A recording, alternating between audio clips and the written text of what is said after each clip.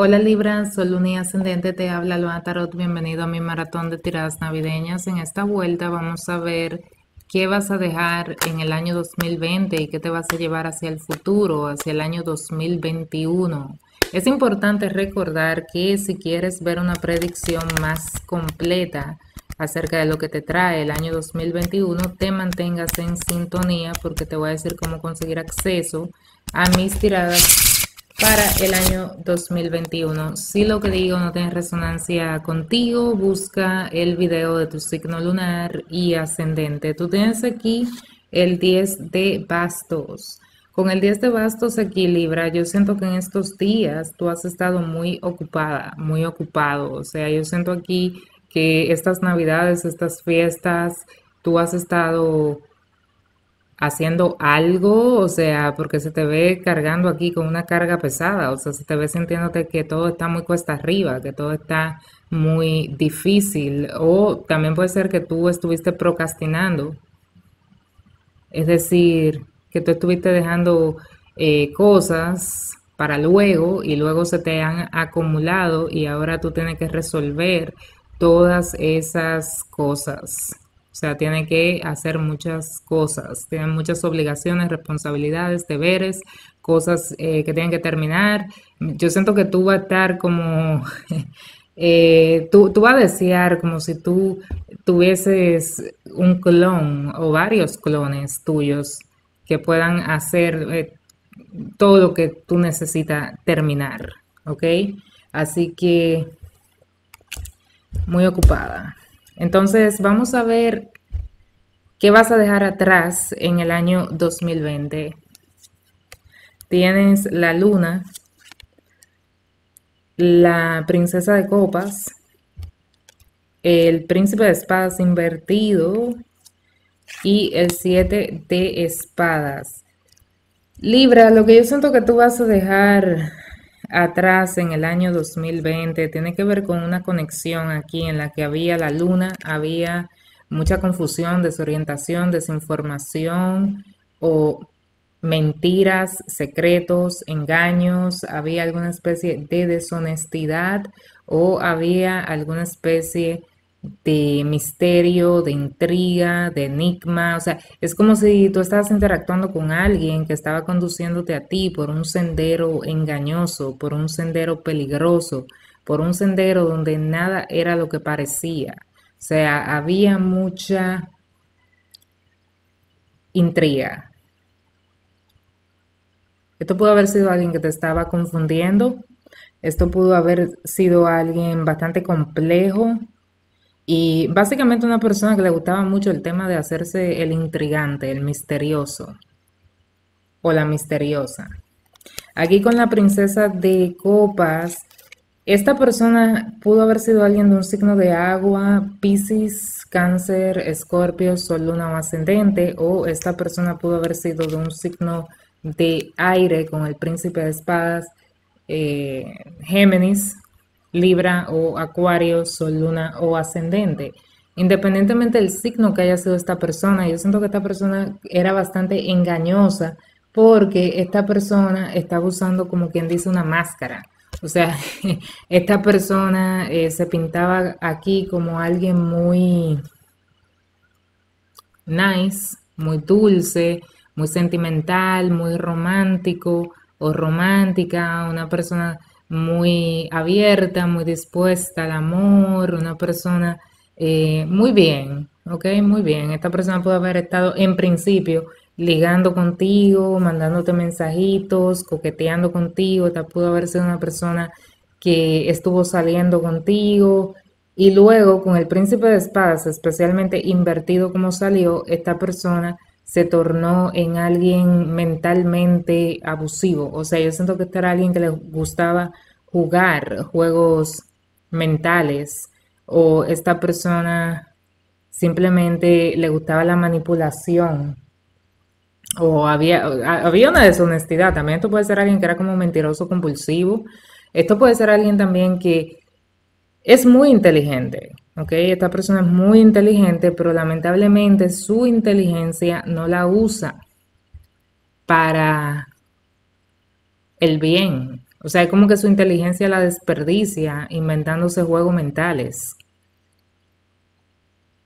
O sea, en vez de proyectar su inteligencia hacia algo eh, productivo que vaya a ayudar a la gente o ayudarse a sí mismo, este individuo utiliza su, su intelecto para jugar juegos mentales, eh, especialmente en el amor, o sea, como que se pinta de inocente y todo muy bien, y luego comienza un jueguito bastante intrincado, bastante complejo.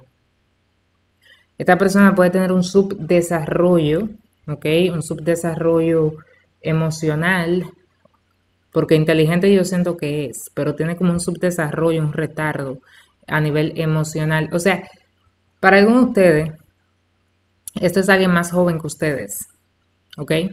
Esta persona es más joven que ustedes, esto es alguien que puede ser tu hijo. Entonces, por eso que esa persona se comporta de una forma súper infantil, porque es demasiado joven todavía.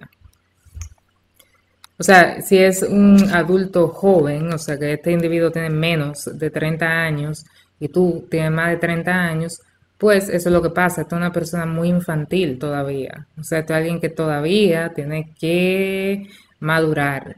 Ahora, si esto es alguien viejo ya, además de lo que sea, y se comporta así, ahí sí yo te digo que esta persona tiene como un retardo emocional, o sea, hay como una inmadurez extrema si tiene más de 30 años. Si tiene menos de 30, eh, este individuo todavía le queda mucho camino que recorrer. Aquí con el siete de espadas, esta persona, tú yo no sé si todavía sigue en la vida tuya, pero yo siento que esta persona es alguien que tiene como una máscara, o sea, yo siento que esta persona no es eh, sincera y básicamente yo siento que a esta persona le gusta aquí la cháchara, ¿ok? Le gusta mucho el chisme, le gusta mucho estar hablando a espaldas tuyas o lo que tú le cuentas va y se lo cuenta a otra persona. O sea, es como un corre, ve y dile. O sea, esta persona eh, va donde ti, ve lo que tú estás haciendo y sale corriendo a contárselo a otra persona. O sea, hay algo con este individuo entre la mentira, los secretos, el enigma y la manipulación emocional y luego eh, los juegos mentales y luego el tema de estar hablando a espaldas tuyas o estar contando tus cosas eh, así que yo siento que tú eres alguien que tú vas a dejar en el 2020, al menos que literalmente te sea un hijo tuyo, que es un adulto joven, que está comportándose así, de esa manera. Tú vas a tener aquí que disciplinar a esta persona. Pero si no es hijo tuyo, te hará alguna especie de conquista joven tuya o infantil tuya. Yo siento que esto es alguien que se queda atrás. Entonces, vamos a ver qué te vas a llevar para el año 2021. Fíjense que el colgado invertido, el, rey de bastos, el 9 de copas y el 6 de espadas. Mira, yo siento aquí, Libra, que si tú estabas esperando por este individuo ya descrito, ok, tú pusiste tu vida en pausa, en stand-by, porque tú estabas esperando por este individuo y tú sentías como que tu mente estaba atrapada en la espera. O sea, tú estás haciendo el sacrificio de la espera por este individuo. Yo siento aquí que tú te vas a liberar de esa prisión. Tú vas a dejar de esperar por esta persona.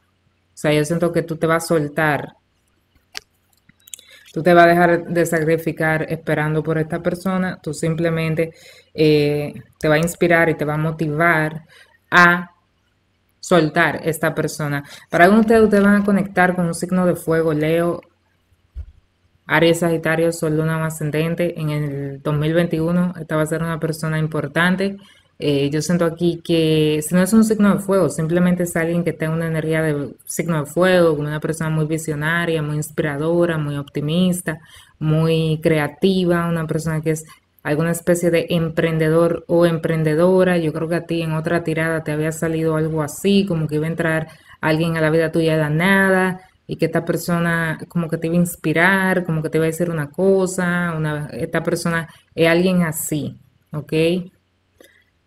Es una persona que básicamente es un líder. O sea, este es alguien que toma la iniciativa y esta persona sabe resolver, porque esta persona tiene su visión y tiene su genio creativo. Esta es una persona también bastante magnánima. Y esta es una persona que le gusta estar en el centro de la escena y brillar. Así que yo veo aquí que vas a estar muy happy, tú vas a estar sintiéndote completamente complacida o complacido por cómo ha salido todo, te vas a sentir increíblemente complacida o complacido. Si tú eres alguien que te gusta estar en, la escena, o sea, te gusta estar en el centro de la escena y brillar, pues aquí tú puedes tener eh, un momento de gloria en el sentido de que tú vas a tener gente que te apoya, tus suscriptores, seguidores y gente que realmente eh, valen su peso en oro y tú vas a estar muy complacida o complacido por cómo se están comportando contigo estos seguidores, suscriptores tuyos o gente así como que tú eres como alguna especie de influencer.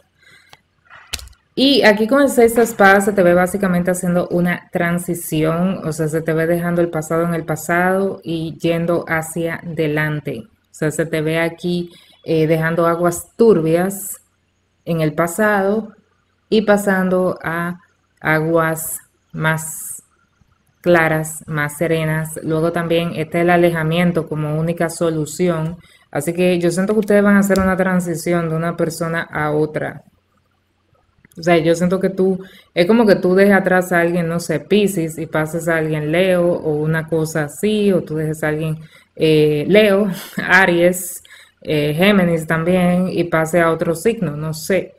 Pero eh, de que tú vas a dejar a alguien atrás, lo vas a dejar atrás porque vas a conocer a alguien mejor, alguien que no te va a dejar esperando, alguien que no va a jugar juegos mentales, alguien que no chismea, okay, que no está hablando de tu vida personal con otra gente. Y tú vas a estar muy bien, de hecho. Entonces, Libra, eso es todo para ti. Muchísimas gracias. Bye bye.